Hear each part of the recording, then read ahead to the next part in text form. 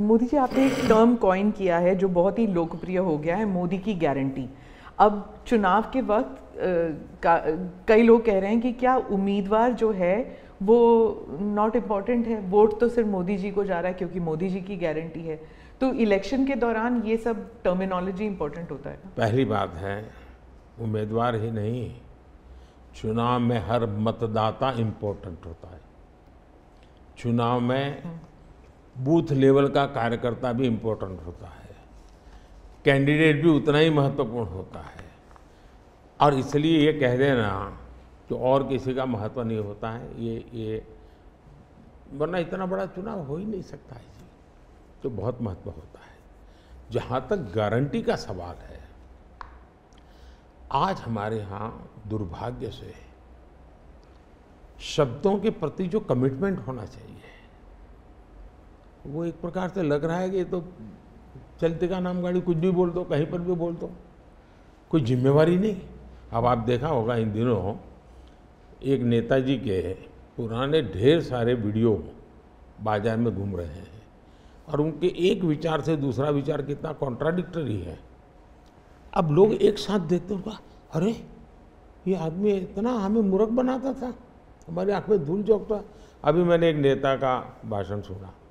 उन्होंने कहा, एक झटके में मैं गरीबी हटा दूँगा। अब जिनको पाँच पाँच छः छः दशक देश का राज करने को मिला, वो जब आज कहेंगे कि मैं एक झटके में गरीबी हटा दूँगा तो देश सोचता है, ये क्या बोल रहे हैं तो मुझे लगता है पॉलिटिकल लीडरशिप की क्वेश्चनेबल होती जा रही है। ऐसे में प्राण जाए और वचन न जाए। ये महान परंपरा से हम निकले हुए लोग हैं। मैं मानता हूँ कि नेताओं ने ओनरशिप लेनी चाहिए। जिम्मेवारी लेनी चाहिए। मैं जो बोल रहा हूँ मतलब मेरी जिम्मेवारी है।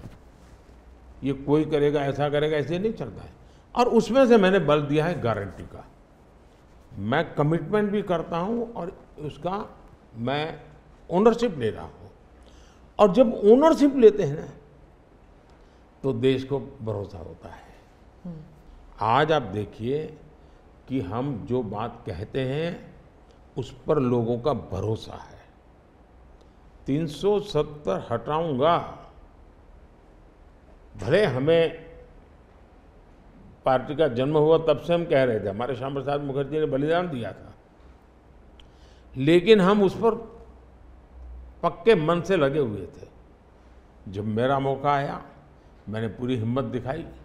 370 गई और आज जम्मू कश्मीर का भाग्य बदल गया। तीन तलाक कितने ही चीज़ों से गुजरा। पॉलिटिकल लीडरशिप डर गई। लोगों को रहा भी इनके पर क्या भरोसा करे? ये तो एक बार एक बोलते दूसरी लोगों का भरोसा तब बनता है कहेगा यार ये खुद खड़े रहेंगे। ये खड़े रहेंगे। और जाना भी है तो जिम्मेवारी लेकर के जाएँगे। कि भाई ये था, मैं सोचा था, नहीं कर पा रहा हूँ, मैं जा रहा हूँ वापिस। लेकिन भरोसा बहुत बड़ी ताकत होती है।